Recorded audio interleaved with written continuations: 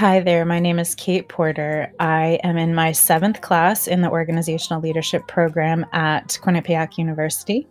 I graduated Mount Holyoke College, uh, Women's College in Western Massachusetts, uh, back in 2005 uh, with a degree in international relations. Since then, I've been working um, for more than a decade with nonprofit organizations, including Habitat for Humanity um, and domestic violence organizations, um, doing communications and development work.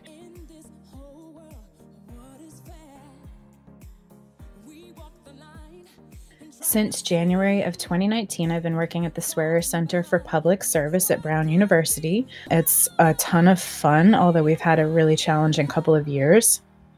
I head the communications and public engagement team there.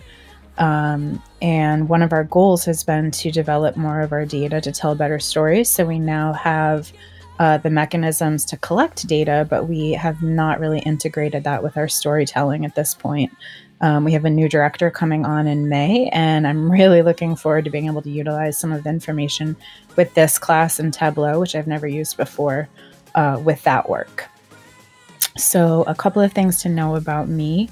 Uh, I'm a lifelong soccer player. I played in uh, varsity in college, year captain. I love it. I've been coaching for over a decade.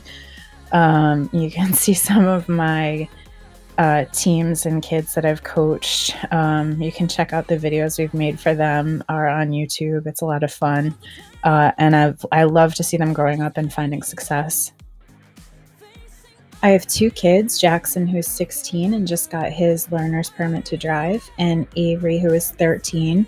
Um, she's a beast at soccer, loves coming to play pickup with me. Uh, before she had two surgeries this year on her feet and ankles, so she's in the process of recovering from that.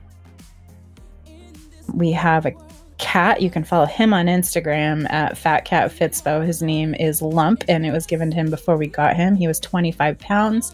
He is down now to a svelte 21 pounds. Um, and last year we got a new puppy named Archie, and he is a lot of fun and a lot of work.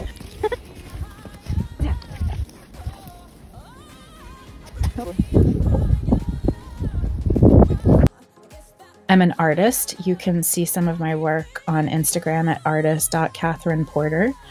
And I'm an avid hiker. Um, I've documented a few of my hikes, and I'm trying to uh, document more on dirtlings.com. If you have any hikes in like Connecticut, you know, Rhode Island, anywhere in the nearby area that you absolutely love, please let me know because I'm always looking for good recommendations. Um, so I look forward to taking this class with all of you and learning the program.